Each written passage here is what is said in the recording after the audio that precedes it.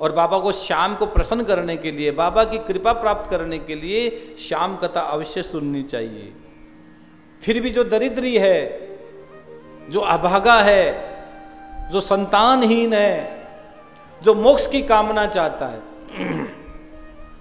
उसको भी श्याम कथा ज़रूर ज़रूर सुननी चाहिए। संतानहीन, जो मोक्ष की कामना चाहता है कि मेरा मोक्ष हो जाए उसको श्याम कथा सुननी चाहिए, जिसके बच्चे नहीं होते हो, जिसके बच्चे होते ही मर जाते हो। ऐसे व्यक्ति को, ऐसी स्त्रियों को यत्न पूर्वक घर में बाबा श्याम की जोत जलाते हुए, बाबा श्याम के नाम का दीपक जलाते हुए, अपने इष्ट के नाम का स्मरण करते हुए कथा सुननी चाहिए। एक बार करके तो देखिए।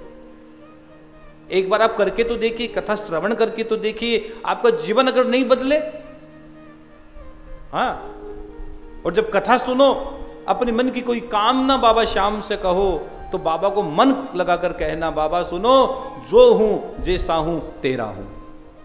तो बताइए वस्तु गोविंदम, मेरा कुछ भी नहीं है बाबा, जो कुछ हूँ, तेरा है।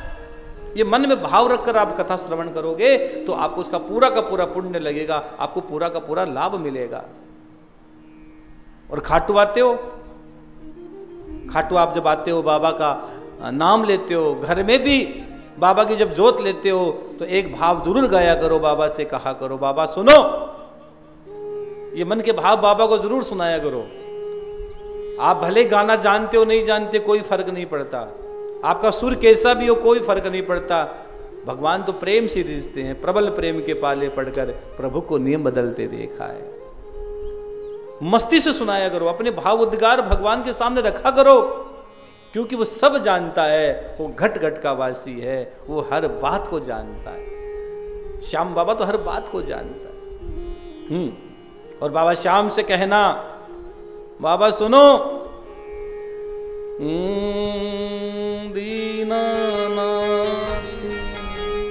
दीनानाथ मेरी बात छानी कोणी तेरे से। दीनानाथ, मेरी बात छानी कोणी तेरे से? आखड़ली चोरा कर बाबा जासी कठ मेरे से? आखड़ली चोरा कर बाबा जासी कठ मेरे जय श्री श्याम। आप सभी श्याम प्रेमियों से नम्र निवेदन है कि पूज्य महाराज श्री जी का यूट्यूब चैनल मनुश्री जी महाराज रतनगढ़ वाले को सर्च करें सब्सक्राइब करें शेयर करें बेल आइकन दबाएँ ताकि महाराज श्री जी की वाणी जन जन तक पहुँचे और सभी को उसका लाभ प्राप्त हो। जय श्री श्याम।